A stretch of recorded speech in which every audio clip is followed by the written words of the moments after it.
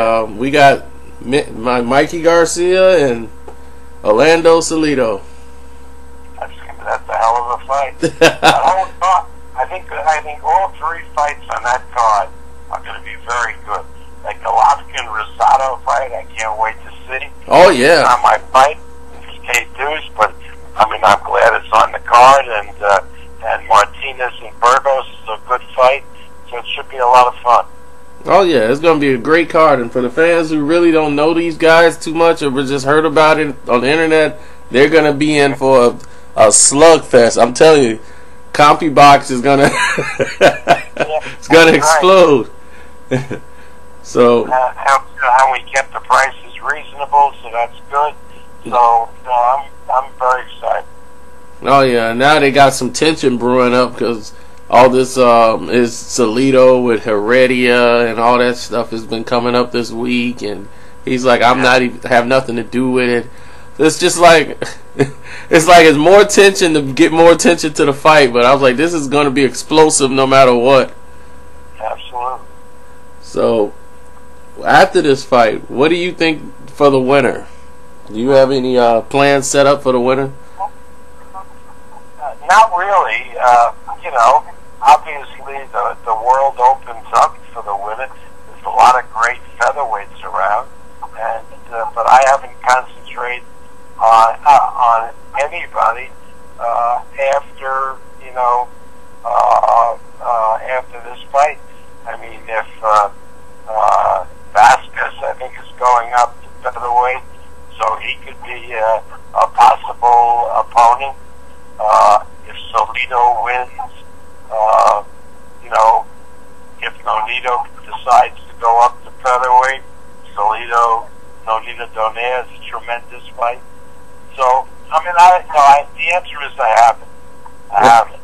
Oh, okay. There's plenty of featherweights around to make good fights. Okay, and I know you probably heard it last week because it was just all over the internet about this this doctor from the Philippines talking about Manny uh, maybe showing early signs of Parkinson's.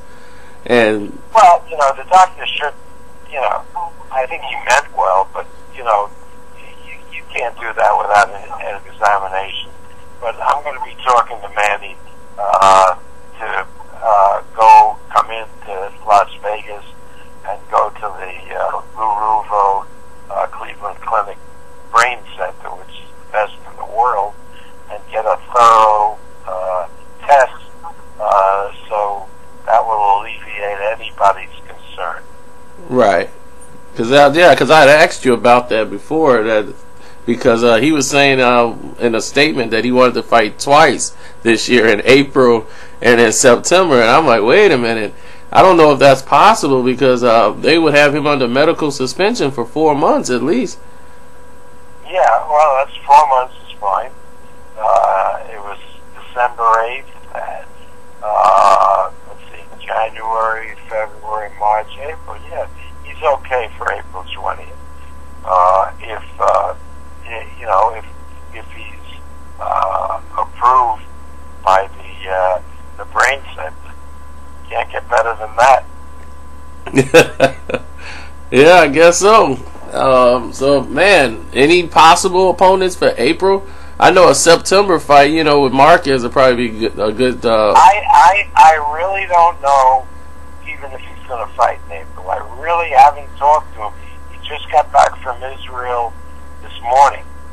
Oh, okay. Uh, and, and I'll be talking to them sometime tonight to see where they are. So I really, you know, the idea that there'll be an April fight, there won't be an April fight. I mean, I just don't know. I haven't until I talked to them, and I left them alone. I told them I would leave them alone while they were on vacation. Right. And now I'm going to talk with uh, with uh, Manny, and I know Fernando is talking uh, with Juan Manuel Marquez. Oh, okay.